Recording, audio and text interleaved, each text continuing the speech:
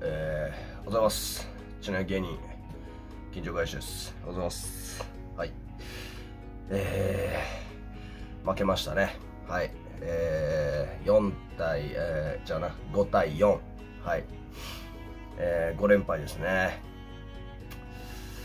えー、見守ります。はい。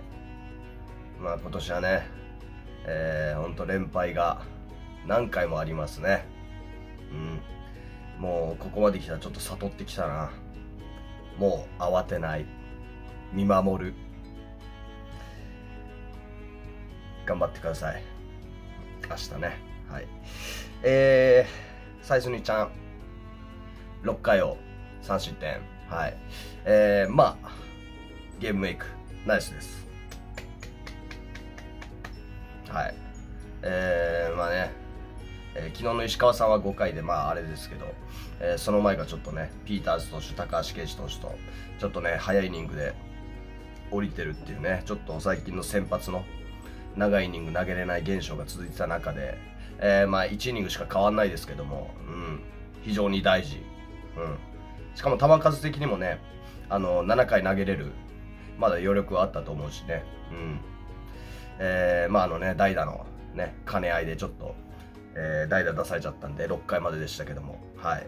えー、サイスニード投手ね、本当、えー3失点ですけど、ナイスピッチングだったと思いますよ。はい。うん、まあ3失点ね、えっと、宮崎選手のツーランと桑原選手のタイムリー、はい。いや、宮崎選手がもう打つね。あー、もうヤクルト大好きでしょ。あ、対ヤクルトの打率多分えぐいことになってると思いますね。あもう見るたびに打たれてます。はい。もうそんな印象。うんついね。はい。まあまあ、でもはい。お疲れ様です。サイズニちゃんね。はい。えー、今日7回ですね。はい。えー、最近の課題の一つであるね。はい。えー、7回の男誰やねん問題。はい。今日木澤くんが投げました。はい。まあ、石山さんはまあ、連投っていうのもね、あったんですかね。ちょっと最近投げすぎで、えーしかもね、うん、失点も良くするということで、今日は木澤くんを、はい、えー試したのかはわかんないですけど、はい、えーしっかりね、えー無失点で抑えてくれました。うん、ナイスピッチング。うん、このままね、7回座ってくれていいんやで。うん。でもちょっと木澤君まだ波があるからね。うん、まあ今日良かったけど、ちょっとまだ信頼はできないですね。うん。持ってるものはいいんですけどね。球も速いしね。うん。シュートもいいしね。うん。はい。継続お願いしますね。はい。えー、で、今日はね、8回に、えー、問題がちょっとね、ありましたね。はい。えー、別に攻めるつもりはないです。シミノボがね、はい、逆転を、えー許してしまうと、えーいうことで、はい。えー、まあ、どんまいですね。いつもよくやってるんで、はい。もう、シミノボ田口はもう信頼してます。はい。大丈夫。うん。もう、シミノボだって失点はしますよね。うん。そりゃ、ね、ずっと抑えれるピッチャーなんていませんから、リリーフね。うん。でも、どんまいどんまい。はい。切り替えてください、シミノボね。はい。えー、で、9回が山本投手と、えー、小中投手ね。はい。えー、山本投手ね、今日もしっかりね、えー、バッター2人かな。うん、2人だったかな。うん。まあ、抑えてくれて。はい。で、小中投手はね、なんとあの、西浦選手と、ね、対戦ということで、はい。いやー、ちょっとね、ユニフォーム姿ね、ベイスターズのユニフォーム姿、まだ見慣れないですね。うん。でもなんかちょっと惜しめのね、センターフライ、えー打ってましたね。はい。ま元気でやってください。はい。できるだけヤクルト戦では打たないようにしてください。すいませんが、お願いします。はい。っていう投手陣でしたね。はい。えー、まあ、そうですね。まあ、シミノボが誤算だったっていう感じにはなるんでしょうけど、うん。まあ、今日でなんかね、清水を、シミノボをね、攻めてる多分ヤクルトファンは、うん、いんのかな？僕はね、一人もいないと信じてるんですけど、うん。もうどんまいです。はい。まあ、噛み合わんすね。今日はしっかりね、えー8回までは繋いだんですけど、うん。まあ、1点差はね、なかなかね、厳しいっすよね。はい。えーで、打線の方ですけども、はい、えー、まあ、古賀くんがね、プロ初ホームランということで、はい。えーまあ、ナイスバッティですね、はい。なんか意外でしたね。うん。なんか1本ぐらいは打ってた記憶あったんですけどね。なんだろう打ってなかったんですね。うん。まあまあ長打タイプではね、もちろんなくてね。うん、ただ肩は強い。うん。で、この守備というかね、このフットワークの軽さはね、ほんとこう、ヤクルトのキャッチャーの中でも本当に上位というか、うん。あのー、ピックオフプレーとかね、一塁ランナー飛び出してるところね、キャッチャーからの牽制。あのプレーなんかも古賀君でしかね、ほぼほぼ見ないので、うん。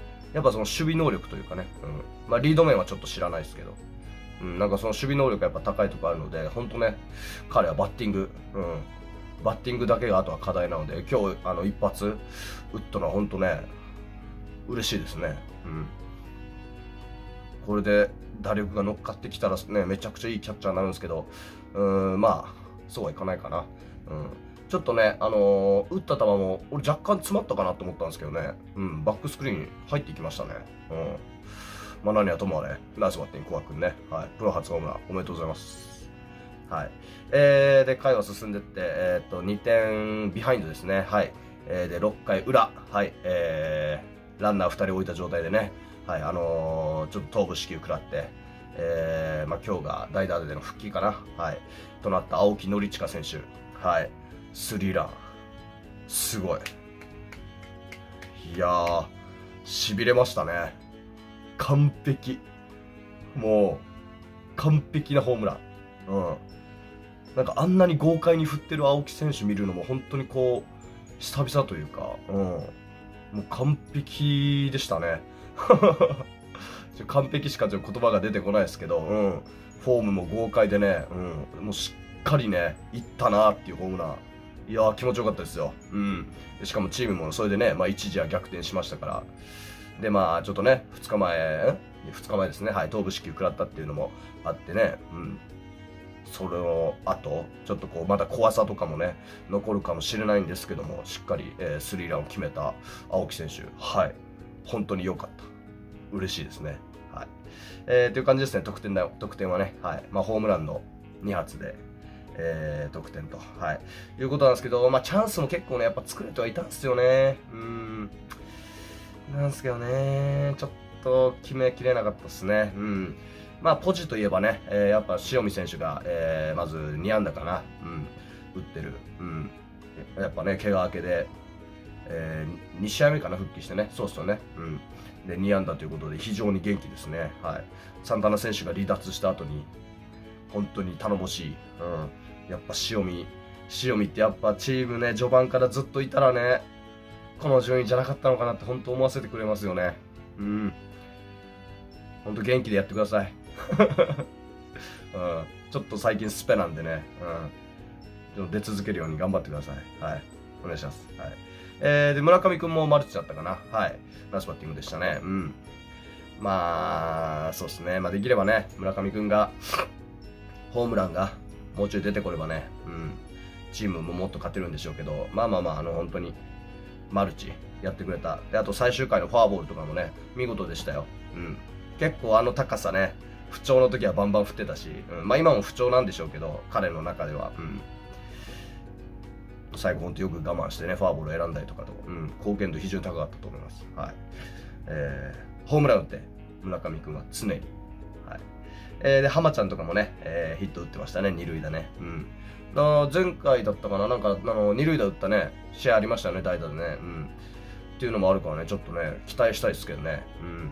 浜ちゃんも波があるんでね、どっちかといえば。はい。えー、っていう感じの、えー、まあ、バッティングでしたかね。はい。